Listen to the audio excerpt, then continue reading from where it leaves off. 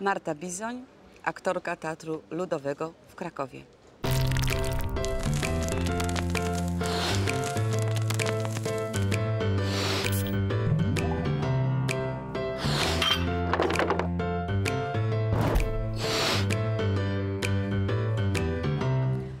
Kraków to miasto, któremu 20 lat temu oddałam swoje życie, oddałam swoje serce. Będąc rodowitą wadowiczanką, przyjechałam tutaj do tego miasta, spełniając swoje marzenia. Tutaj się spełniły moje marzenia. Tutaj skończyłam y, najlepszą uczelnię na, na świecie, Państwową Wyższą Szkołę Teatralną, y, teraz y, obecnie Akademię Teatralną. Tutaj założyłam rodzinę, poznałam mojego męża, y, urodziłam dwójkę dzieci. Y, tutaj mieszkam na krakowskim Kazimierzu. Tutaj pracuję w Teatrze Ludowym. Tutaj y, spotkałam najcudowniejszych ludzi na świecie, którzy są zawsze przy mnie i zawsze mi pomagają.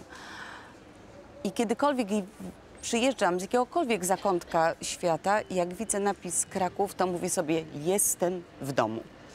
I zawsze, kiedy widzę ten napis Kraków, to mi się przypomina taka piękna pieśń.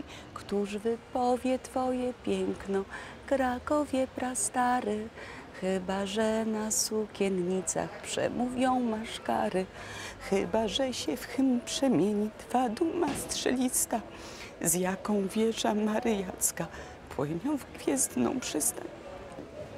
Kocham cię, Krakowie.